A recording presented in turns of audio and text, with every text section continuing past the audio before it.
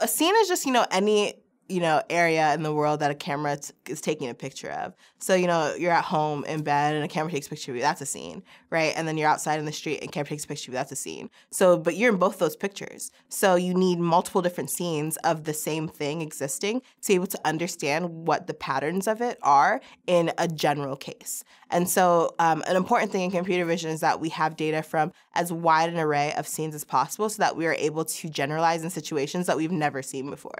Because when we see a lot of different things, then we're able to say, oh, these things are important in knowing what this, you know, characteristic or object is, these things are just, you know, coincidentally in the picture and have nothing to do with what we've talked about. So that's why it's really important to have lots and lots of data of different things and different different scenes um, to make sure that you're actually um, doing, you know, well and accurately representing what you want to represent.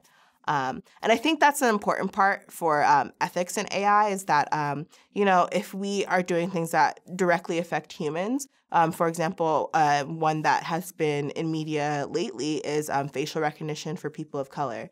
And a lot of these programs, to get data from people, they're usually done, you know, educational settings, government settings, which there aren't a lot of people of color um, and therefore they don't get the data for people of color, and it's very misrepresented. And then when you go out into the street, and um, you know a lot of the people that you're running through this algorithm are people of color, you've never seen any per- any person with that data. Then simply because your skin tone matches, you might find you know facial recognition matches, and you know make false arrests and have problems that way. So it's I honestly think that you live and die by the data that you have in artificial intelligence. And it's so very important that we don't take these really powerful algorithms that are able to find patterns and generalize literally anything that you give it. And we just need to make sure that we're giving it the right data so that it understands, you know, the true nature of the world that we live in, um, so that we're just fair to everyone and make sure that everyone benefits equally from the system.